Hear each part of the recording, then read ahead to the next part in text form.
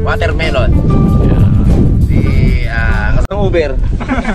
si ba Sir Bugs, Daddy D, si Pongloy, si Alvin, si Kuya Rene, Alnong Tangkat at higit sa si Calvo, ang inyong lingkod, Dalaman.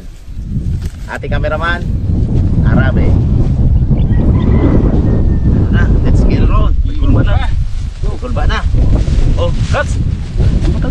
Tingin, tingin mo na. Kalaki! Sumot agad mo. Basta Oh. Bilo. Hinog. Oh, reject na to. Ay, ito, ano na to, may tama oh. Wala yan. Wala yan, adubi. Akin mo lang. Yan. Abo, si Pongloy, tatlo-tatlo kit! Hindi Bakit, bakit may timpong? Halo, buto no? Hmm, ano lang yan? Sa palo.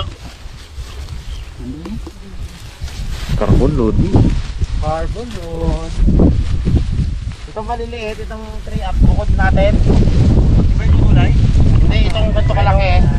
Ibukod para ipapresyo.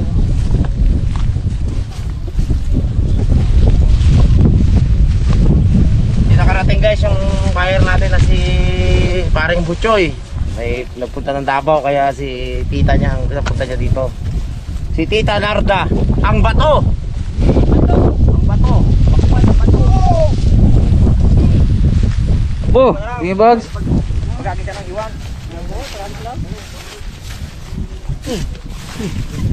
Agis pong! Oh, bag. Bali, ang naging presyohan namin guys 4 up Apat na kilo pataas Isang 10 wheeler 90,000 Kasi Hindi natin Pwedeng mahalan ng hustot Siyempre para kumita din yung ating buyer Napakamahal ng bayad sa tracking Barko Yun ang Hindi natin pwedeng i-compare Yung presyuhan na Handun sa Nueva Ecija at saka sa mga parting Bulacan, mas mahal ang kuha talaga ng mga buyer dyan. Kasi, by land lang ang travel nila. Sa atin kasi dadapa ng barko, babayad sa malaking truck. Kaya medyo ganun lang ang presyuhan dito ng pakuan. Okay na yon. Contento na kami doon.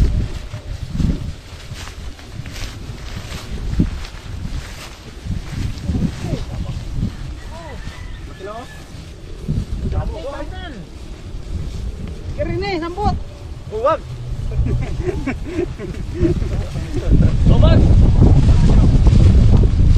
Huwag, huwag, huwag, huwag! Oh, kalaki.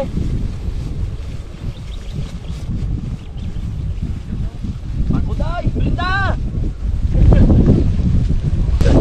Belinda. Belinda agad na parang.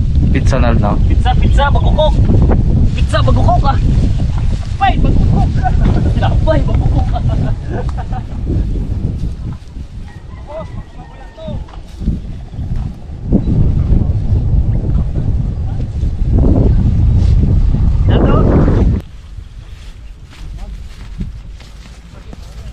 Bakit ba sa akin?